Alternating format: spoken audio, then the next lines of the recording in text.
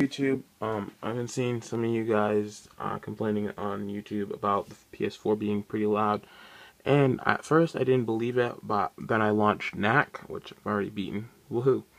Um, not platinum, but beaten. And um, I'm just gonna try to keep my uh, profile out of the picture. Um, basically, I you know I had the PS4. I just put it down, no fans, no extra cooling. Now it does, as you can see, but no fans, no extra cooling and you know I jumped in within about 10 minutes it began to get loud and louder and loud and I got nervous and the top of actually was fairly not hot I want to say warm. I want to say about 80 degree 85 degrees Fahrenheit on the external.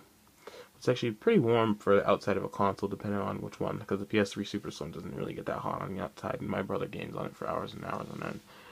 So you know what I did is I was using these fans on my uh, my PlayStation 3 here um, which they work pretty good to keep the bottom of it cold. It still it still kind of gets hot. And you know, really, you know, playing like Killzone and stuff, the top of it still gets warm, but as long as the bottom's still cold, that's that's good for me. It's really, you know, really right here what you're feeling It's actually really the temperature of your motherboard because your your motherboard's right here. So if this part is actually getting concerningly warm, I'd consider shutting off your uh, PS4. And like I said, there'll probably be patches to make the, the system run colder. And you know, if they do break, I'm pretty sure they're gonna replace them with a, a, better unit of PS4s. This this is the launch edition. I bought this on the 15th and didn't open it until Christmas. I was a little bit disappointed when the fan speeds increased though, um, so quickly and how warm it gets. It's it's not perfect. Um, don't forget how much they shoved inside this little box here. Um, I mean, that's probably why the Xbox is not going to have that too many heating. I mean, I don't know. I'm not Xbox fan. Xbox One or whatever you want to call it. Um, I'm a Sony fan, a little bit.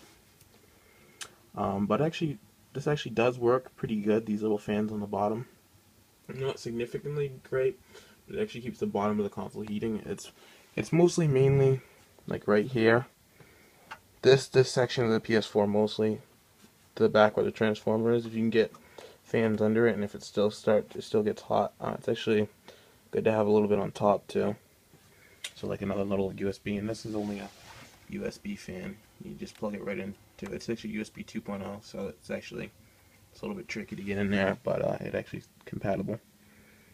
And it, it's all like these fans are pretty cheap, so if you know if you move your console around too much, they actually get loud and they go. But uh, actually, I got mine to quiet down with a quick fix. So actually, it's pretty quiet. Uh, a nice little idea. It's a li little cheap fix. Um, you can buy these on Amazon for like, uh, like five, anywhere between five and fifteen bucks. They're not really worth fifteen. And all it is is a little, little platform with fans in it. I don't know if you can see it. Um, little fans. You see them that it sits on. There's actually three of them, and it actually works pretty good. So. I'm hoping, you know, with a couple of firmware updates, we'll figure out a way how to fix this loud fan problem. Um, you know, any questions on uh, the PS4, you know, leave a link below and you'll help me figure it out. Great, my DualShock 4 has been, um, my DualShock 4 has been disconnected. Um, but, yeah. Another thing you could do is Sony did tell me when I originally got my PS4 and everything was acting glitchy, it wasn't on the latest software. Um, which you, you need to go into safe mode, and I will be making another video right after this to show you how. Um, I have to wrap this up. So, uh, bye, comment, subscribe.